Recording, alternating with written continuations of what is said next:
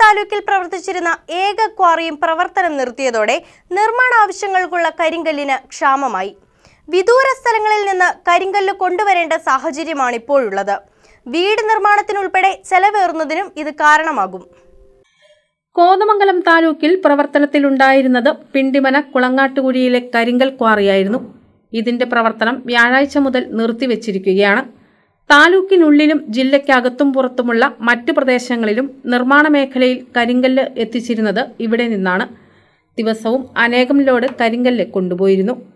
ക്വാറിയുടെ പ്രവർത്തനം നിലച്ചതോടെ നിർമ്മാണ മേഖലയിൽ കരിങ്കൽ ക്ഷാമം ഉണ്ടാകും. വീട് നിർമ്മാണത്തിനുൾപ്പെടെ കല്ല് കൊണ്ടുവരാൻ വിദൂര പ്രദേശങ്ങളിലെ ക്വാറികളെ ആശ്രയിക്കേണ്ടതായി വരും. ഇതുമൂലം നിർമ്മാണ ചെലവ് വർദ്ധിക്കുകയും ചെയ്യും. ലൈസൻസ് കാലാവധി അവസാനിച്ചതോടെയാണ് കുളങ്ങാട്ടുകുഴിയിലെ ക്വാറി പ്രവർത്തനം അവസാനിപ്പിച്ചത്. ജില്ലയിൽ കരിങ്കല്ല് ലഭിക്കുന്ന ക്വാറികൾ മറ്റൊരെണ്ണം മാത്രമാണ് ഇപ്പോൾ പ്രവർത്തിക്കുന്നത്.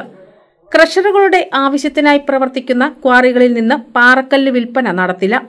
കോതമംഗലം താലൂക്കിൽ വിവിധ പ്രദേശങ്ങളിൽ ക്വാറികൾ ആരംഭിക്കാൻ നീക്കം നടന്നെങ്കിലും ജനങ്ങളുടെ എതിർപ്പും പാരിസ്ഥിതിക പ്രശ്നങ്ങളുമുള്ളതിനാൽ അനുമതി നൽകിയിട്ടില്ല.